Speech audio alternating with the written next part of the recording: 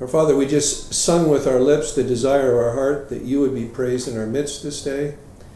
We would ask that you'd give Nick help in his teaching, give all of us ears to hear. We pray that you would enable us to be discerning Christians in a day of doctrinal and practical departure from your truth.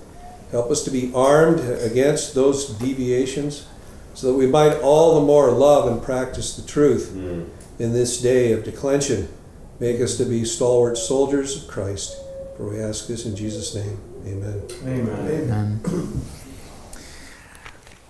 You ready, Corbin? It's going? Okay. So, uh, last week we uh, started on our study of the social justice movement within the evangelical church. Uh, we went through an overview of the history of some of the philosophical basis for Marxism and what eventually turned into cultural Marxism, and then what eventually turned into a social justice movement within the evangelical church. I will give maybe a brief five minute uh, summary of what we talked about.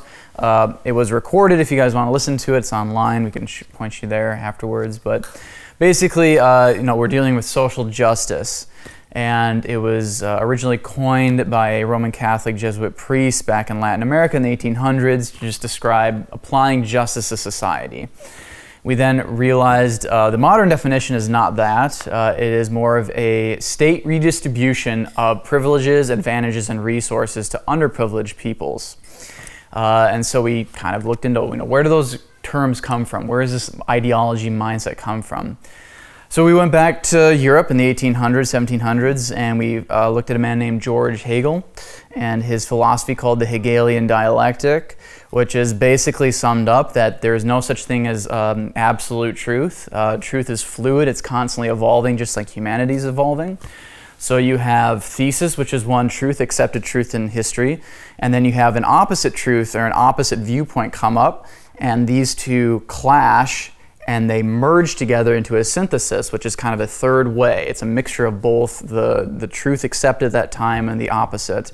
And this keeps going on throughout history. You never arrive at an ultimate truth. It's always morphing and it's always in dialogue with uh, its uh, counterfeits or its uh, antithesis. So we looked at that briefly and then we saw how that built up Marxism. Uh, classical Marxism, we talked about that, where Marx, uh, Karl Marx uh, looked at the world as divided between oppressors and oppressed and he saw it all as an economic thing. So those who controlled the means of production oppressed those workers, and he called them the bourgeoisie or the oppressors, and the proletariat were the oppressed.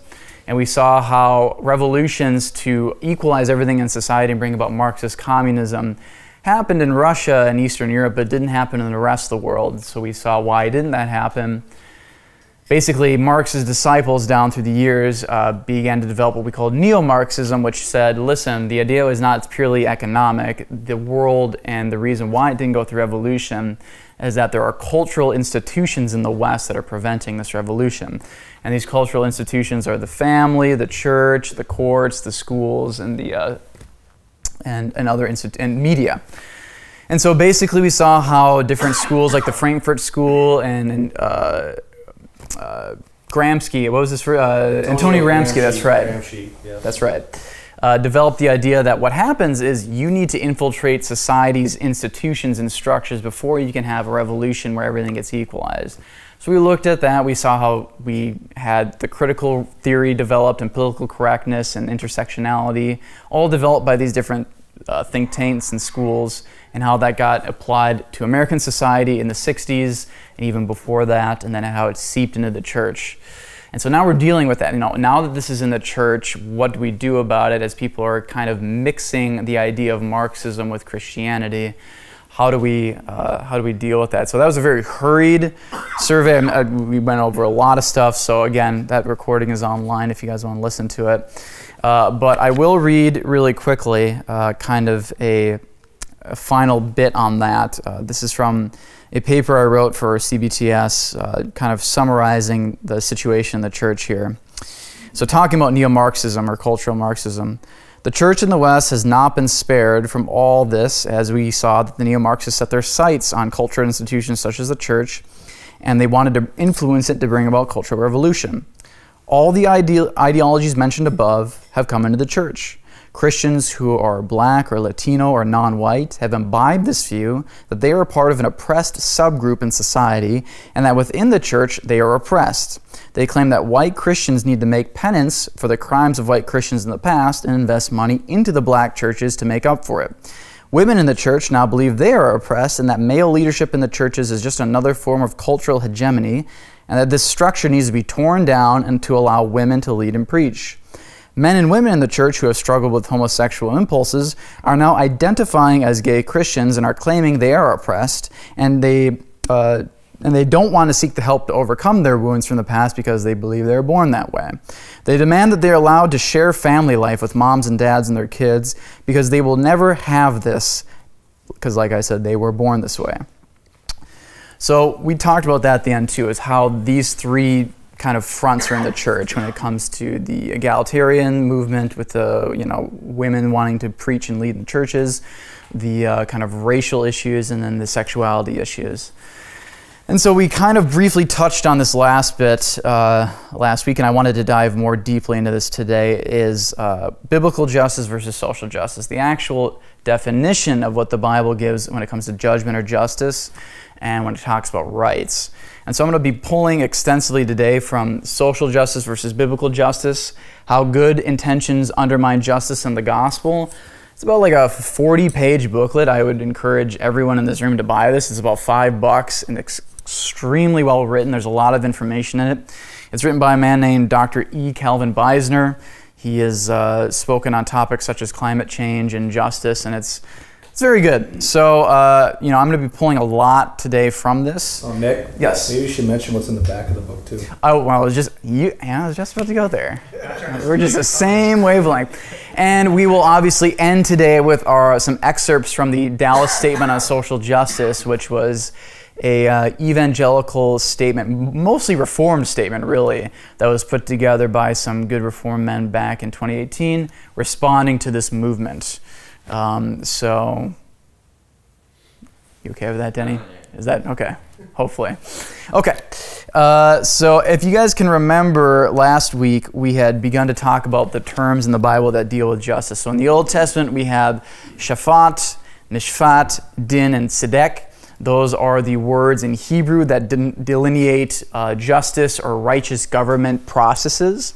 And then we have the New Testament Koine Greek uh, equivalents such as uh, dike and krino.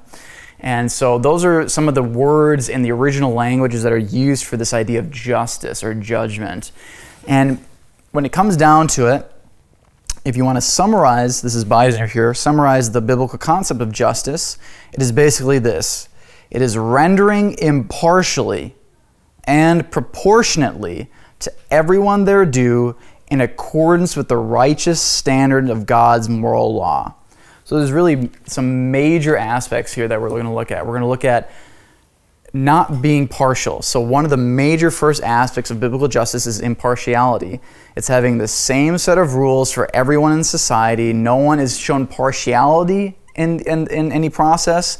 It's simply the same set of rules for everyone in society. That's being impartial, not showing favoritism. We see that in James in the New Testament. It says, don't play favorites, even with the poor. No one's to be given partiality.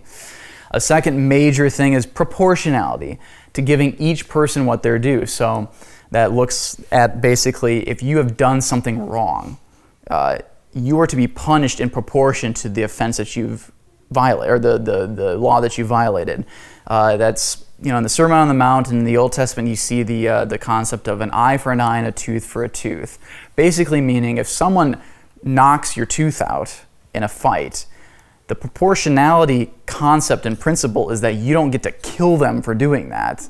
The most you get to basically retort back is a tooth or an eye for an eye in the same concept. So this idea of proportionality is that if you do something, you're only going to be punished in with proportion of how you violated the law. So there isn't this wide spectrum of vindicative justice that's put upon people for doing something wrong. It goes for rewards too. Jesus, when he comes back in his glory with, his, with the Father and his holy angels, are going, he's going to give to each man according to his due meaning he's going to proportionally give to those uh, you know what you have done so this idea of proportionality is all throughout the old and new testament as well as impartiality And then obviously the, the ultimate standard to all these things that they connect to is the Ten Commandments. We've been going through that in the last few months at, uh, at Providence here and basically looking at the law of God, the Ten Commandments.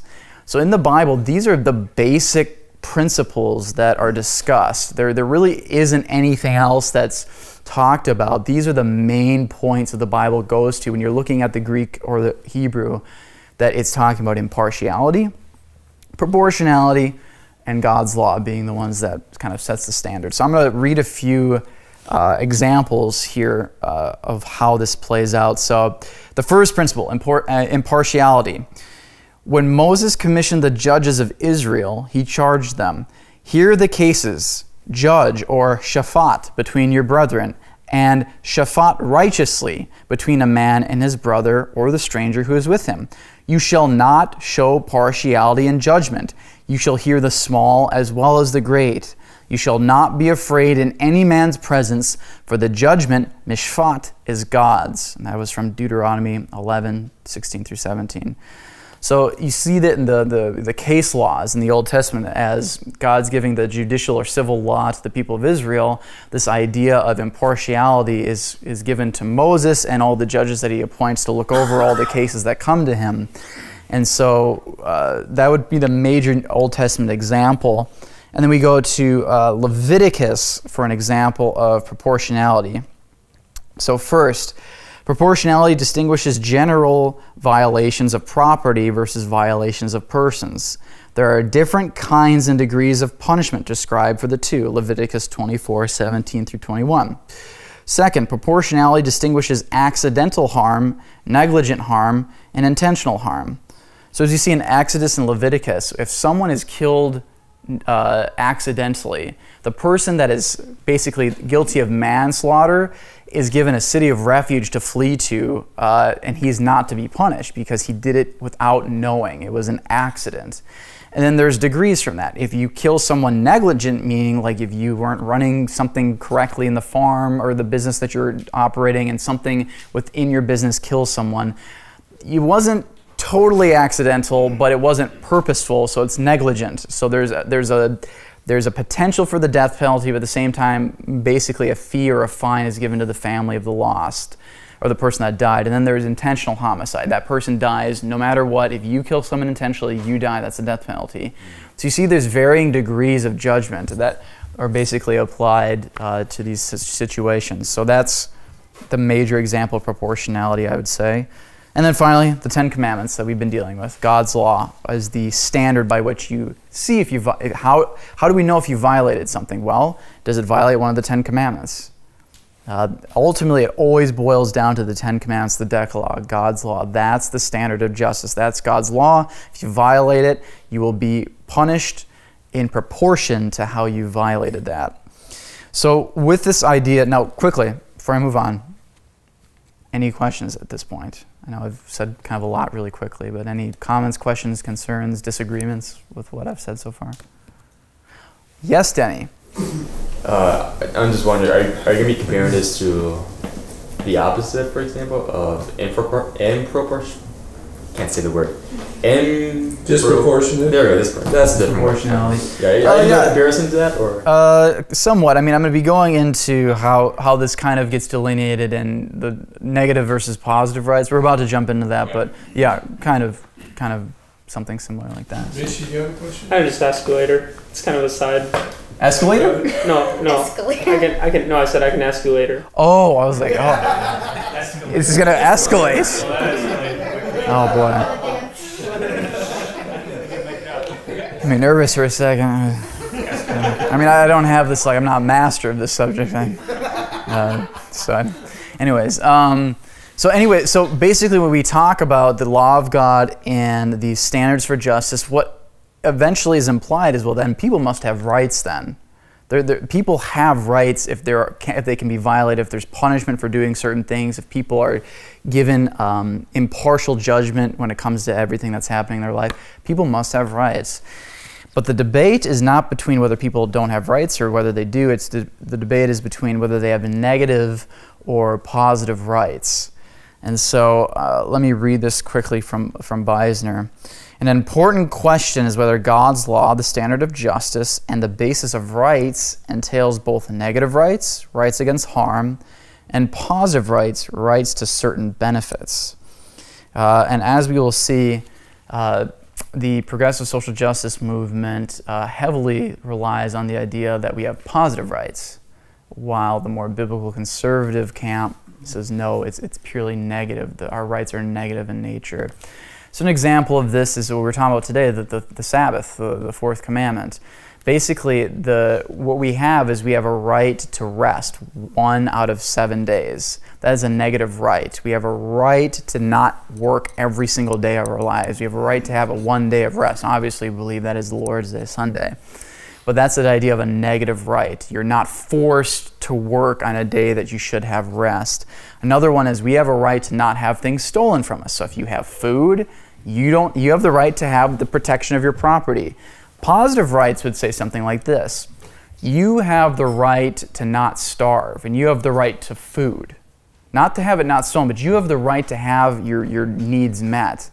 So in essence, if someone says, Well, I have the positive right to not starve, I have the positive right to have the, my daily needs and food met, that easily turns into if I see someone that has something I don't have, the positive right outweighs the negative right. It cancels it out because it says I can take that fruit from that other person that has a lot to supply my positive right. So the negative right of that person of being I have the right to have my stuff stolen is canceled because the positive right of the person hungry and wanting his food says, well, I have a positive right to food. So it cancels the negative right out. And we'll see more examples of this, but the idea of positive rights, I think, has slipped into many of our thinking as well. As I've read over this, I realized that I probably had a little bit more of a mixed view of rights. I didn't really see it purely as negative.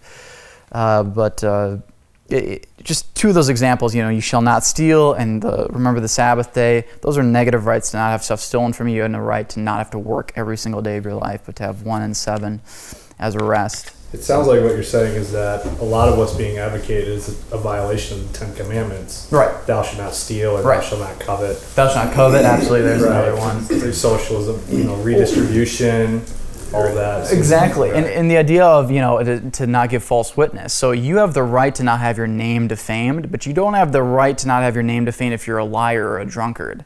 That the, the right the right to not have your name defamed isn't a positive right that you always must have a good name. It's different. You have to delineate between if you have the right to not be defamed. That means you can't have someone speak ill of you for the false and a false pretense. But if you did something wrong, you can be called that because you did do that. You are in violation, and therefore you're you're a, a thief if you've stolen something. Um, so, yes, please. It has to be the other nuance to that. It has to be defined by a certain standard. That's right. It can't be just whatever because That's otherwise right. I can say, well, you defamed me because you look at me the wrong way. That's right. It can be defined by. That's a silly example, but like look. it can be yeah. defined by anything then. So there has to be yeah. a standard by way you determine those things. Absolutely. So Nick, does yes. uh, do the proponents of social justice do they have limits on how far those positive rights go? You guys are just one step ahead of me. We're right. To, we're about to get right there. This is this is this is really good because the the argument's going to be that there there is it's the the end of positive rights is absurdity because there is no the, the end of it is a ridiculous impossible uh, avenue i mean you're not and I'll, I'll get to that right here because i'm gonna i'm gonna quote extensively now so please forgive me for reading but this is i think this just needs to be laid out the way that Beisner says it uh, uh, properly understood rights are not guarantees that something will be provided for us but guarantees that what is ours will not be unjustly taken from us. That is properly speaking rights are not positive but negative. Why? First because there's no objective, universal, unchanging standard by which to determine how much of any given benefit everyone has a right to. Since justice requires impartiality, proportionality, and the conformity to God's, to God's laws, rights must be the same and unchanging for everyone. If everyone has a right to food, how many calories per day? And of what com- uh, composition? Meat, vegetables, grains, dairy products, fish? And quality does everyone have a right to? Does a 30 pound three year old have the right to the same amount of calories as a 200 pound 30 year old farm laborer? If everyone has a right to shelter, of what size and quality and what location must it be in? Uh, secondly, this reasoning points uh, toward another problem with positive rights. The assertion of positive rights necessarily entails the violation of negative rights, while the assertion of negative rights doesn't. If someone has a positive right to food, food, which we dealt with, but refuses to work for it, his right can be supplied by taking food from someone else who has worked for it. Furthermore, advocates of positive rights cannot justify either A, limiting the equalization of wealth to any geographic boundary, an example, a welfare system that would make the North American recipient very rich person indeed were he to live in Bangladesh, can hardly be justified, especially on the egalitarian grounds of the welfare rights philosophy. So there's, there's the thing, is if we're going to set a standard here, in all consistency, that should be worldwide then, which gets ridiculous because that's, there's going to be immediate problems with that. And when it comes to cal- like food, how much is how, how much does everyone how many calories per day do we have a right to? And obviously that differs for what people need. And so it's, there is no set standard. It becomes ridiculous. It becomes absurd because you can't press it to, to its logical end without going crazy. I mean, the, the second, uh, this basically sums it up as best as I can. Uh, Beisner says the second big problem is limiting equalization merely to wealth, which is after all less important than such things as intellect or talent.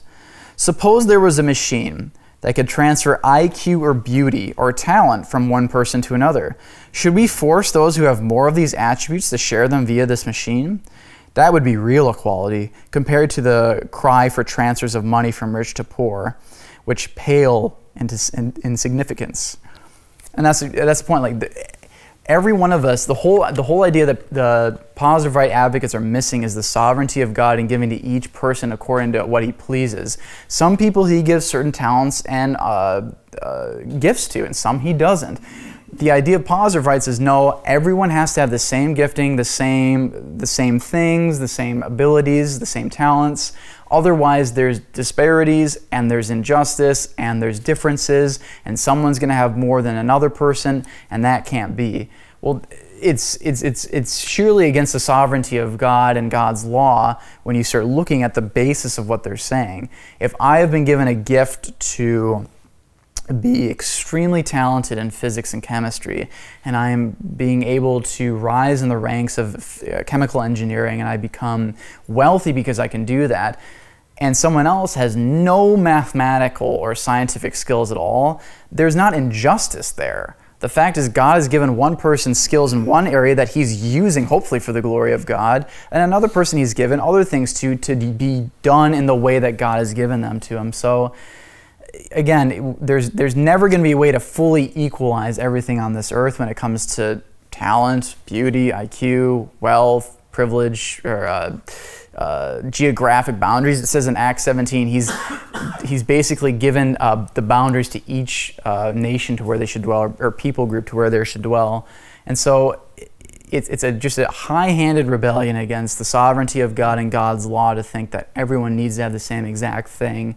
Otherwise, there's injustice there. And again, by what Danny was saying, by what standard do we even apply justice in this, uh, or injustice in this, this topic here? So uh, before I move on, does, does that make sense, or did that kind of like go over people's heads a bit?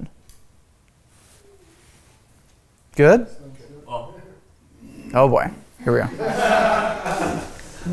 yes. I mean, let me. Let, Uh, we're, I want to phrase it the right way. Now we're talking about you know, the world and everything else. How does this apply in the local church then? You know, why, why does this concept matter in the local church? You know, this, this isn't just for Nick. This is that's where you're going next. I was gonna go there next. Oh, believe it or not. Okay. It's like you've read this book before or something. Did you guys talk to each other? Mind link. Yeah. Yeah. You can't shut it off. That's a bit strange. I mean, yeah. Well, it, it, what I'm about to talk about doesn't exhaust that at all. So that would, I mean, if anyone has comments, please bring that up because this is. Some, oh, please, yes. Um, since the earliest foundations of the United States are in Christianity, mm-hmm. does is um that part of the whole life, liberty, and the pursuit of happiness? Abs- does that fall into absolutely negative or positive? I, I just wonder how that It, it, it does, yeah. So, the, so the idea of negative rights is you don't, the, the, you know, the founding fathers, though some of them were deists, so they weren't truly Christian. They, they, they drew a lot from the Christian principles, and so one of their, one of the, the major works that the founding fathers drew from was Lex Rex, which is in Latin for law is king. It was written by a Presbyterian man named uh, Samuel Rutherford, and it basically said that our idea of justice and government and rights come from the Bible not from human reason or autonomy. And so the idea then is that we have the right to not be, as the people in England were, oppressed by the state. They, for religious liberty, it's, the, it's not that you have the right to do whatever you want. You have the right to not have the state impinge upon your right to come and worship. Uh, you have the right to pursue happiness and, and to have freedom but uh, but not do whatever you want. Does that make sense? It's it's the idea of the state can't come in and tell you to do this, this, or that, or take these things from you. And so they drew extensively from a biblical worldview, and that's why we have what we have here in America. So this is very anti-American as well. Not only is it anti-Christian, it's anti-American. Uh, so, which is controversial to say, but I'll say it. So, and Lex Rex, you know, the, it, it's Latin for the law is king. Yeah, yeah. And the, the concept is is that every single person, even a king, is accountable to the, to the law, God, to the law of God. Yeah, that's right. So, because if you if you claim if because the old the old theory of divine right of kings yeah. is that God has given me the authority to rule. Well, but the, the flip side, if you claim to take authority from God, the flip side of that is that you are accountable to God. Mm-hmm. You can't claim the one without the other. So that's so that was what Rutherford was getting at, is that the concept that everybody is accountable to the law of God. That's right. Right. Yes. Yeah, and I think uh, you know what Danny was about was saying there. Does that answer answer your question? Perfect. Uh, was you know how do we operate in the church then? You know what what is what are we to do as a church? What are we called to do when we see injustices or things true injustices in society? Uh, I'll I'll get to that in just a sec. I just want to read one last little quote here. Uh, progressive social justice violates negative rights and biblical criteria for justice in order to give positive rights as the government tries to mitigate such inequalities. And that's at the essence the problem is the only way to try and get these positive rights and these injustices solved is you have to go to the government. The government has to somehow, eh, you know, equalize society, mm-hmm. and that in itself, in the church, and eh, to, to even think that way eh, as a Christian is very dangerous. To say we're going to start giving power and authority and and and uh, decisions to the government to equalize everything. We're going to give it to a select group of men that probably aren't even Christian to try and apply non-biblical standards of justice in society and in the church. Well, it doesn't take much of you know studying or intellect understand that's going to be a disaster and that's not going to go well for Christians or it's not going to go well for many people as we've seen in the past when you see Marxism driven to its logical end, that's, that's straight totalitarian communism that we saw in the Soviet Union and the Eastern European bloc countries, and we've seen in China.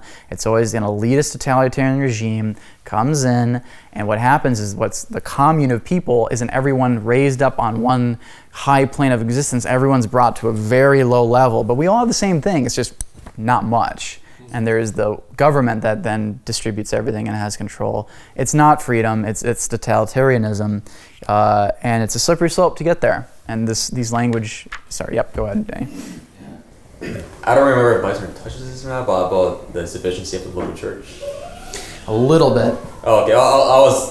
Please say something. Yeah, I was. I was gonna say is that, you know, one thing. Uh, and this is uh, from Kuyper, Abraham Kuyper, who lived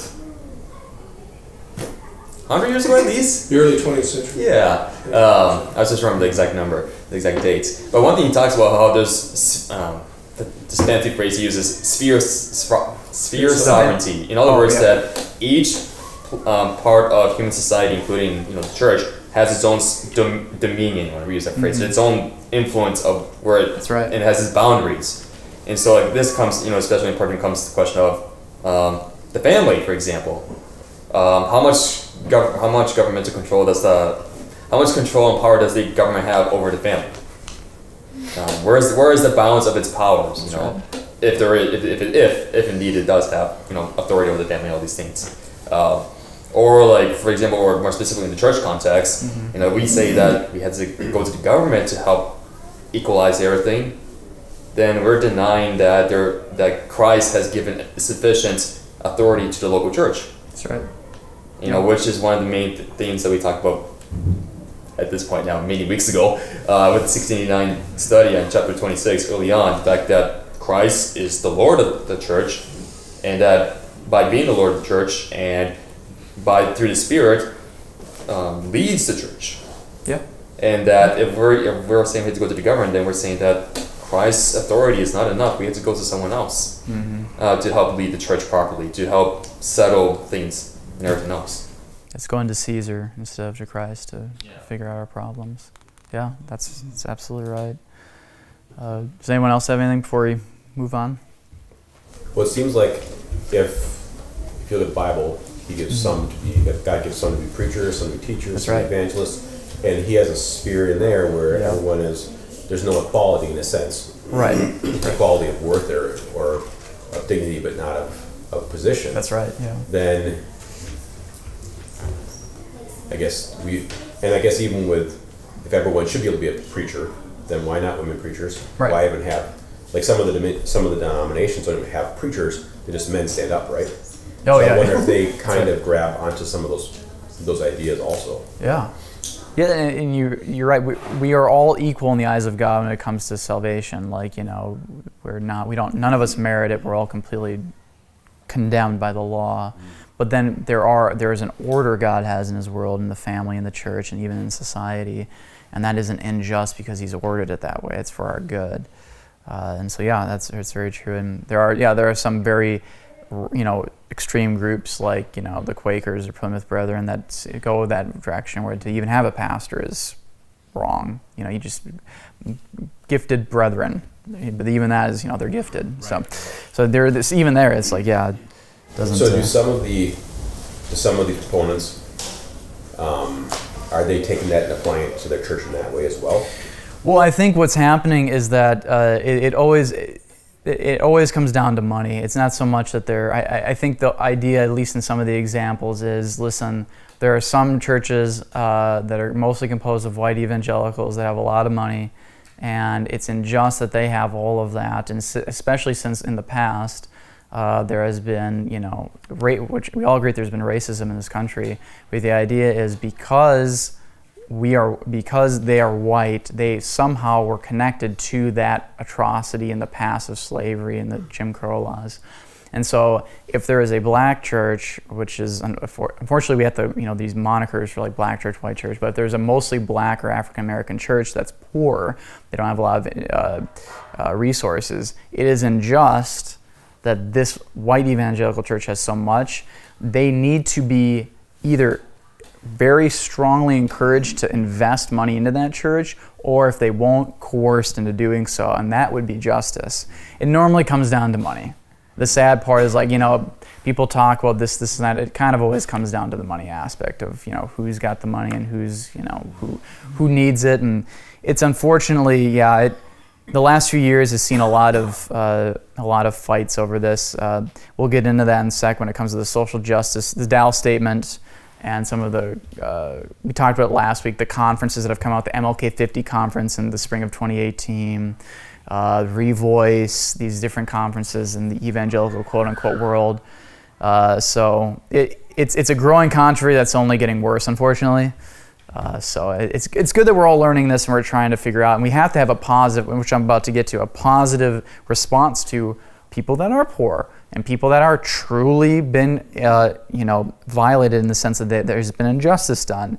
We can't forget these categories because it'll be easy for people using the same terms to, to beguile us into some form of socialistic, progressive social justice because they use emotion, right?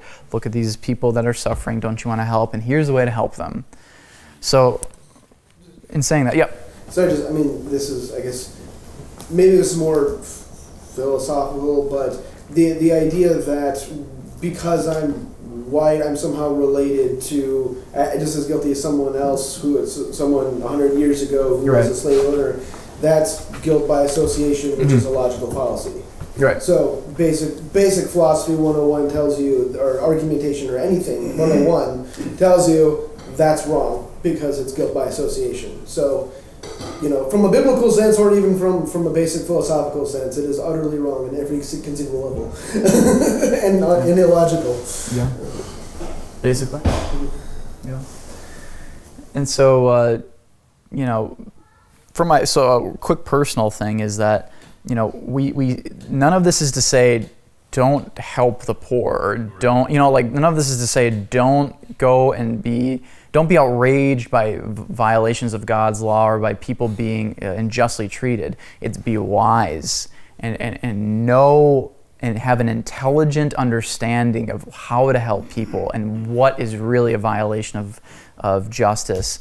You know, I was uh, I was in a homeless youth ministry for four years, and so I I've, I've I have a heart for people. I, I see people's uh, suffering, and we wanted to help these people as a ministry of mercy, and we wanted to preach the gospel to them uh, first and foremost. But we also wanted to help meet some of their physical needs and, and the fact that they didn't have ho- houses or food and things of that nature. But the more I began to study this concept of social justice, I started to see the slippery slopes you can get on uh, when you don't have good groundings, where you can basically have the church turn into a social service center that just kind of meets community needs, that has nothing to do with the gospel, and it's completely dictated by a government ide- ideology of, well, here's what this community needs, and we're gonna, well, the, the church, what you need to do is just be a soup kitchen that full of nice people. Well, no, no, no, that's that's that's not what the church's main purpose is for, but we should still help poor people. So, how do we walk that balance? How does that poised, balanced position work itself out? Well, this don't won't exhaust it, but I think it starts to to give some good ideas here. So, so what do we do about those who are being treated unjustly, and what do we do about the poor? Because the poor are particularly vulnerable to injustices in ways others aren't, the poor therefore are more frequently victims of injustice than other than others are. Furthermore, many Hebrew words translated poor in the context often emphasize not material destitution, but vulnerability to oppression. So it's not always monetary. Uh, someone who might be disabled or someone that might just be uh, elderly, you know, or, or just uh, uh sickly, that it doesn't technically need to make them, you know, financially poor. It's just those who are uh, more open to being oppressed by people uh, is, is more of a biblical understanding. So, however, we focus on justice for the poor because they are so often victims of injustice. In contrast, because we exercise charity or grace towards them simply because we are poor, they're poor. So, here's the concept of as the church, we are to offer and we are to exercise grace, love, and charity to them. The church is to extend itself and to, and to help those in society, not out of coercion because we're told to, and not because uh, they you know they have they they have less money and therefore because they have less money we have to do something. It's not because they are being potentially uh, uh, used by those in society. Potentially they have been assaulted or stolen from. And we want to be salt and light to these people and we want to present the gospel to them and help them as Jesus said to help them. But it's not out of a sense of coercion or because the government is telling us to do so or because we have so much therefore if we see someone with a uh, disparity or someone with less, we have to equal that out immediately. Otherwise, that's biblically unjust, which is not the case. Uh, while justice then is never partial to the poor, it recognizes that the poor are often vulnerable to injustice.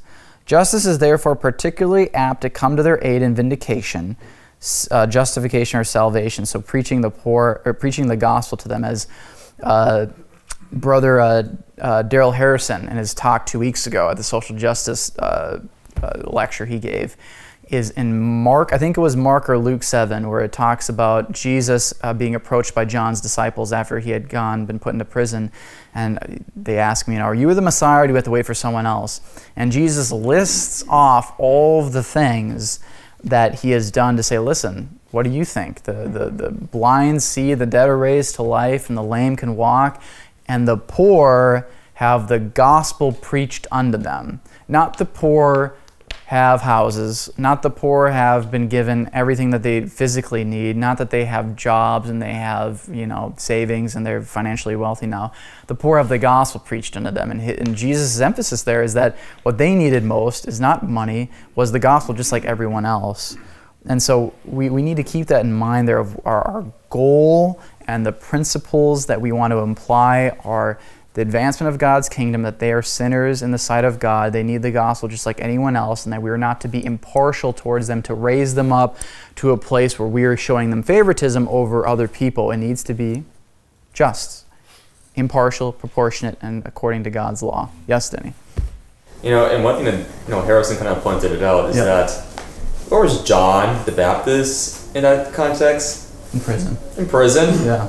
You know, like you know, Jesus being the God Man in one sense had the, all the authority and power, being the you know being divine, to storm and send angels, storm the place, and free John from injustice because I mean John was unjustly placed placed in prison. All he did was speak against Herod for uh, being a wrongful, wrong, wrong, sinful relationship uh, with his brother's wife. That's the situation, right? Yeah. Yeah. Okay, let's make sure it's brother's wife. Um, yet Jesus doesn't do that.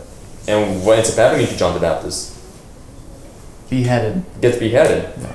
Um, so I mean, I mean, it's just an interesting reality, even right there, that Right. uh, to think about. Yeah. Yeah, absolutely. Um, I'm just going to read one more quote from Beisner and then we'll move on to the Dallas statement. So, one last thing I think is helpful here. He says, Does this make it wrong to try to mitigate inequalities in society? No. It only makes it wrong to try to do so through force of government. Voluntary efforts are good and uh, excuse me, voluntary efforts are good and do no injustice. And the reason for this distinction is that it is done voluntarily as an act of charity or grace. And that's what we're called to do as the church. It's a voluntary act of showing love toward our neighbor, not because we are forced into it or people are guilting us into it or because the government tells us to do so. It's something that should be flowing. God loves a cheerful giver. It should be flowing out of our hearts to do good to those around us. If we see the poor without clothing or shelter or food, we should want to, out of charity and love for them, help them, not because there's a government mandate forcing us to or because we're being uh, basically bullied or guilted into doing it. So the church's job in this sphere is to be charitable and gracious and loving. And the government is supposed to uphold justice in society. Biblical justice, as Romans 13 lays out, that they bear not the sword in vain. They're supposed to punish evildoers. That's basically the role of government. If you look at Paul's view of it, Romans 13 is basically saying the government is ordained by God to punish evildoers so that there's not rampant chaos in society. They're not really supposed to be a force for social reform. That might be really radical to hear in our day and age, but biblically, the government is simply negative. It just is supposed to enforce law so that there's no chaos. I mean, that's basically the government in the view of the government that Paul has. So we've gone so far from that, we have, a, we have so much the government does now for us that we just assume that the government's role is to do this, this, this, this, this, this, when it's really just supposed to be to enforce law and order. And that's it, what it, that's what it was. So Paul was saying in Romans 13. Uh, so we have a long ways to go as a society, and even as a church, to really get back to the understanding of church, state relations, spheres of influence, biblical justice, uh, and when it comes to what our roles are. Um, so I will uh, leave it at that for this section here. Does anyone have any questions, concerns? I'm moving to the Dallas statement. Oh, yeah. I'm. I would say that I think too. You look at what has welfare done for the individual person, the Right. dignity. Yeah. What has government aid done for the person's dignity? What about when you have when people who are believers and they're trying to be faithful and they reach out and and have relationships with people, Right. and then they increase their dignity and they have this sense of belonging Right. and it takes away that fundamental isolation or, or loneliness in a person. That's a much better. I mean, obviously, people can't eat to die, Right, right. but if to to the effect that with all the welfare and all the giving and all the programs, you still have people who are fundamentally broken, Yep. and Absolutely. Christ is in the is in not the business, but He is the one who gives new life. That's right. And if we're to be faithful as gospel um, laborers in a sense, lay laborers, then that should really be our focus, right? We want to meet Yeah. people's needs, but we want to have that relationship and actually connect and provide hope. Absolutely. That's right. Yeah, I mean, there's a whole, there's, I mean, time forbids us to go there, but there's a whole other, you know, large section of going into the idea of the welfare state and how it's caused more damage than good. And it's just, God, it's, it, we don't have the time to go there, but yeah, that, that also would be, for individual study to look into that. Uh, one book I would recommend is Social Justice in the, even, is it just called in the Evangelical Church or just in the Christian Church by uh, Ronald Nash. Very good. It's very, very good. Uh, so, anyways, uh, I'm going to finish up here uh, in the next 10 minutes, just uh, going over some highlights from the Dallas Statement on Social Justice. And so, if you guys don't know what that was, back in the fall of 2018, a year ago, uh, there was a meeting of brethren in Dallas, Reformed brethren in Dallas, that basically got together to produce a uh, succinct statement to give a positive view uh, of the, the Bible's uh, teaching on justice and then to refute the movement within evangelicalism with the social justice movement. And so it falls on the, uh, the heels of other statements in the past, like the Nashville statement on sexuality, the Chicago statement on inerrancy of Scripture. So I wanted to really point this out here. We're, we're really in a historic time right now because when you look all the way back to the early church, the church has always had this, uh, this, uh, this within themselves of gathering together in the face of controversy, whether it be counselor or not. We call it the statements now, but it's basically you look at the Council of Nicaea, that was to respond against Arianism. You look at the, uh, the Council of Chalcedon, that was to respond against the, the heresies involving uh, the humanity and deity of Christ. And all the way down the line, you see every time there's a major uh, front to the church, godly men gather together and they produce a succinct statement. So, this is a very historic thing that happened last fall. It falls in the line of our historic uh, Orthodox understanding of uh, giving clear, delineated responses to controversies that come against the church. If you haven't read it, I would highly recommend it. It's online. It's at the statement on the so. I'm probably the, the website is the so, the statement on socialjustice.com. Is it in the book there? It is. I just have excerpts on my phone here, but uh, just the website. The website. Yeah. Let me look really quick. Uh, if you guys haven't read it, I would highly recommend you do. It's not in here. It's shorter than the 1689, so don't worry. It is shorter than the yeah. It, it is. It is. It's like it's like five pages, so it's it doesn't take that long to read. Uh, really, yep, it's not in here. So. Uh, anyways, uh, some men, some of the main signers and the uh, producers of the document were uh, men such as Dr. James White, Dr. Voddie Baucham, Dr. Josh Buice, Dr. John MacArthur, uh, Dr. Tom Ascol. So some some very solid.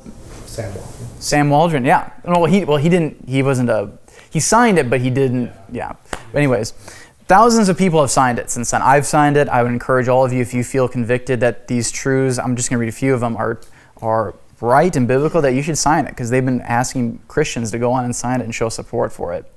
Uh, so, anyways. So I'm going to pull some little quotes here from the Dallas Statement just so you can hear what they're talking about here. So just so I found it. It's, it's a statement on socialjustice.com. Perfect. The statement on socialjustice.com. No, the just statement. Statement on socialjustice.com. Thank you. Uh, so Article Six, the Gospel. We deny that anything else, whether works to be performed or opinions to be held, can be added to the gospel without perverting it into another gospel. This also means that implications and applications of the gospel, such as the obligation to live justly in the world, though legitimate and important in their own right, are not definitional components of the gospel. So the gospel is salvation through Jesus Christ alone, through repentance towards God and faith in Him. It's not anything else. You can't add in and living righteously. You can't add in and helping the poor and all these. That's what they're trying to get at here. It's the, the, the purity of the gospel, not letting other things that are good and right once you have become saved to do. Justification by faith alone in Christ alone, by His grace alone, to the glory of God alone, is basically what they're getting at there. And so they've worded that very carefully, and I think if you read that over, you'll see, again, the, the reason why they use certain words. So, another section, uh, section 8, the church. We deny that political or social activism should be viewed as integral uh, part of the gospel or primary to the mission of the church. Though believers can and should utilize all lawful means that God has providentially established to have some effect on the laws of society, we deny that these activities are either evidence of saving faith or constitute a central part of the church's mission given to her by Jesus Christ, her head. We deny that laws or regulations possess, uh, possess any inherent power to change sinful hearts. I thought that was very well put. You know, it's it's good and right for us to try and influence our society, being salt and light, but it's foolish to think that laws and the government are going to change fallen humanity uh, to do things that they don't want to do. Uh, it's not a part of the gospel. It's something we should do, but it's not a definitional cardinal gospel issues. They're going to keep hammering at that because you hear that if you've done any research into this, the social justice advocates in the church are saying this is a gospel issue, this is a gospel issue, this is a gospel issue. And they're strongly refuting that in these statements, saying it's not a gospel issue. Because what are you really saying when you say it's a gospel issue? Uh, section 10, sexuality and marriage. We affirm that God created mankind male and female, and that this is divinely determined distinction is good, proper, and to be celebrated. Maleness and femaleness are biologically determined at conception and are not subject to change. The curse of sin results in sinful disordered affections that manifests in some people as same sex attraction. Salvation grants sanctifying power to renounce such dishonorable affections as sinful and mortify them by the Spirit. Those who lack the desire or opportunity for marriage are called to serve God in singleness and chastity. We deny that human sexuality is a socially constructed concept. We also deny that one sex can be fluid. We reject gay Christianity as a legitimate biblical category. We further deny that any kind of partnership or union can properly be called marriage other than the one man and one woman in lifelong covenant together. We further deny that people should be identified as sexual minorities, which serves as a cultural classification rather than the one that honors the image bearing character of human sexuality as created by God. It's a very strong statement. And I think it you know, stands against what we were talking about this whole idea of gay Christian uh, people taking onto themselves that, I, uh, that label and that group that they're identifying with. And it obviously stands against transgenderism, saying that sex or gender is fluid. Uh, so it's a very good and strong statement in that aspect. And finally, one last thing here. Uh, racism. I think this is uh, Article 14. We affirm that racism is sin is a sin, rooted in pride and malice, which must be condemned and renounced by all who would honor the image of God in all people. But the denial clarifies this. We deny that only those in positions of power are capable of racism, or that individuals of any particular ethnic group are incapable of racism. And the reason they say that is there are many people teaching that you can only be racist if you are the dominant ethnic group in a society.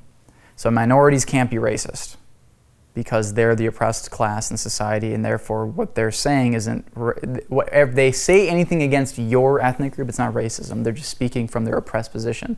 And they also say that anyone in a position of power uh, is racist. Anyone that doesn't have any power can't be racist. Well, that denies total depravity. It denies the fact that people can be sinful, whether they're poor or rich or weak or powerful. People are sinful, and so those are just a few excerpts. It's a very good statement. Some people thinks it do, think it doesn't go far enough. I think it is just sufficient uh, for what we need. So that was the Dallas Statement of Social Justice. Again, I encourage you guys to look at that yourself. Uh, and that is uh, basically what I had for today. So is there any final thoughts or questions or? I just have a question. Yeah.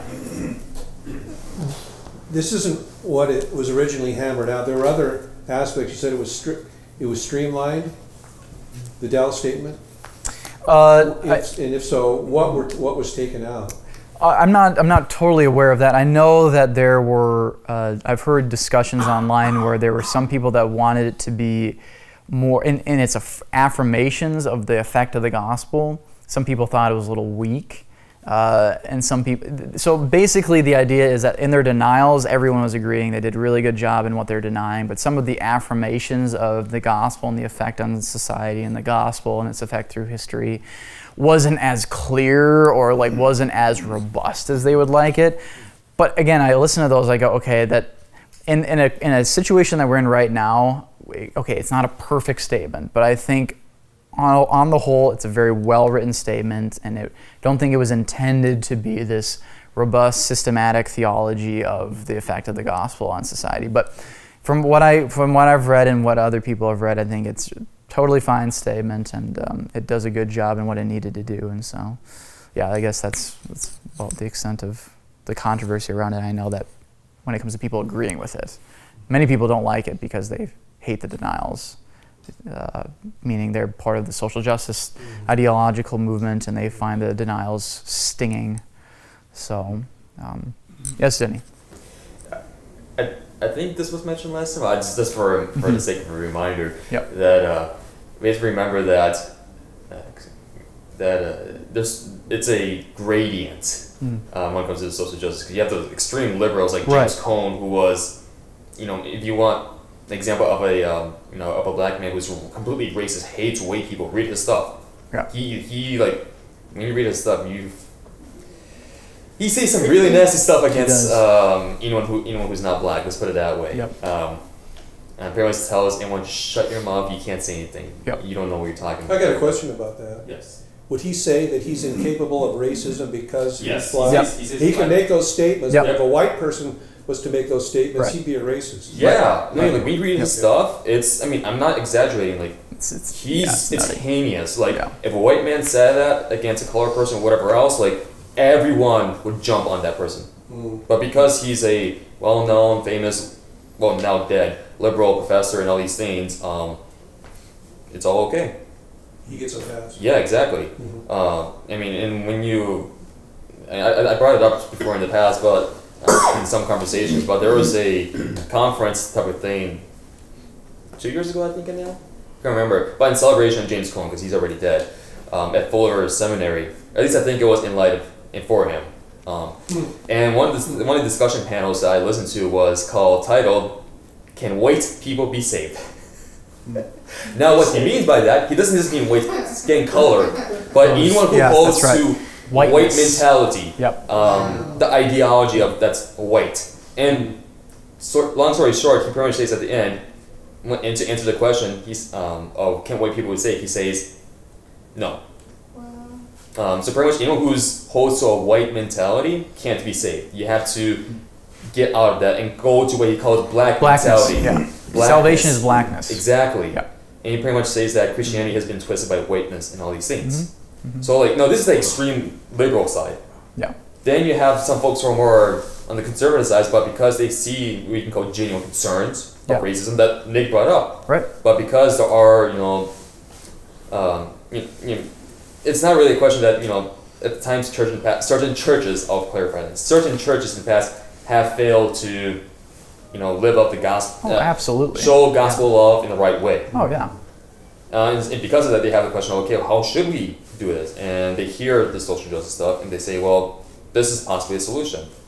So they're not, you know, the liberal, like the extreme liberal side, Right. but they are, you know, it doesn't mean they doesn't give them a total pass necessarily, but they're not, how you say, necessarily enemies of the faith. That's right. Those more conservative brothers, Thank you they're for- just yeah, yeah. brothers who are Yeah. have genuine concerns, but are going towards solutions or methods that are maybe Right. Not the best. Let's put it, that, that's Thank you for like. clarifying that. Yeah, there, there are gradients. It's not like everyone um, everyone in the social justice movement is a flaming liberal. I'm not saying that, but like yeah, the, I'm just trying to give you the the ideology that's really at the bottom of Oh, all yeah. of it. Yeah, but yeah, but, the, but yeah, the gradients are there are many conservative reform brethren. That's why I'm bringing this up. There are many conservative reform brethren that are taking some of these views, not wholesale, but little bits and pieces, because they see you know the the kind of groundswell in this culture of moving towards that, and they they don't want to be uh, left behind, as it were, or they want to be able to. They, they want to be uh, they want to speak to it in a very contemporary way, and so they're borrowing, I think, in, in, in good intentions, borrowing some of the terminology and some of the methodologies.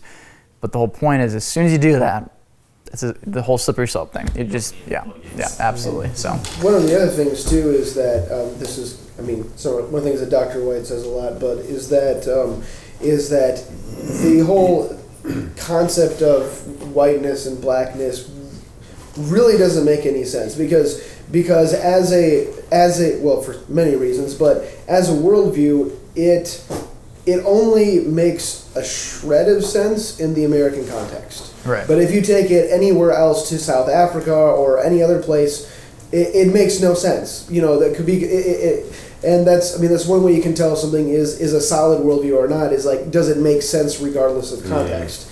And this one completely doesn't. Like if, if you were if you were to talk to other places where you know where maybe black people are oppressing white people or black people are oppressing other black people, Right. it's it's it, it, it they, they would say, "What are you talking about? I need to d- divest my whiteness." You know, like that makes no sense. Um, so yeah, so that's Yeah, one of the things. point. It's point. and it's a little bit ironic also in that sense because that also demonstrates how sh- short-sighted and culturally unaware it actually is. The- how much how much uh, American centric you could say, and completely oblivious to any other cultural context. Right. And considering that it's being that in an attempt to be equal and culturally sensitive is very ironic. Yeah. Um,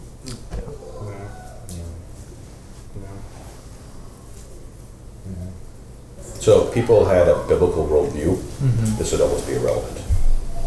Yeah. True. Yep. Yeah, it wouldn't even be on the radar, really. No. That's why it all comes down to it all comes back to the Bible and having a Oh. proper worldview Yep. and understanding what the gospel is. I think And practicing it as well. yeah. Well, yes. Or the yes. praxis. Practicing comes after understanding. Oh, I understand that. But I think that's why it's it's penetrating into evangelicalism because there's so much biblical illiteracy Right. that it, since people aren't able to line things up with scripture as the contrast, they're susceptible to deception. Oh, yeah. So I think that's what's going on. Oh, See, here. there's just a lack of biblical discernment. I I think, think that's, that's at the bottom of it. I think that's right. What's that? This laziness on the part of Christians. Yes. Mm. They know what the Bible teaches. So they can see these things in, in clarity and make distinctions Right. Yeah. that aren't being made and things are being blurred. Yeah. Hosea said, "My people are destroyed for a lack of knowledge." They are. Yeah.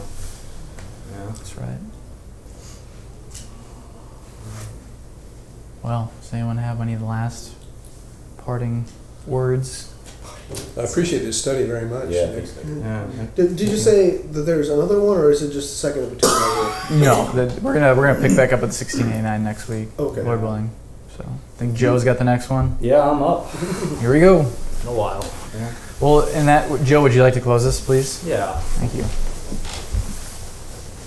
Lord God, uh, we see so much going on in the church today, Lord, and we want to honor you in all things.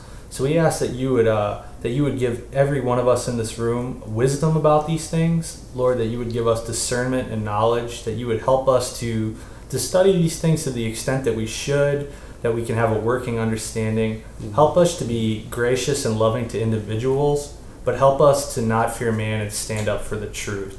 Lord, we we we uh, we want to be charitable. We want to be kind. We want to be patient to those, but we uh, we do not want to spread lies and deception. So give us wisdom, give us discernment, help us to respond to these things as we should as Christians.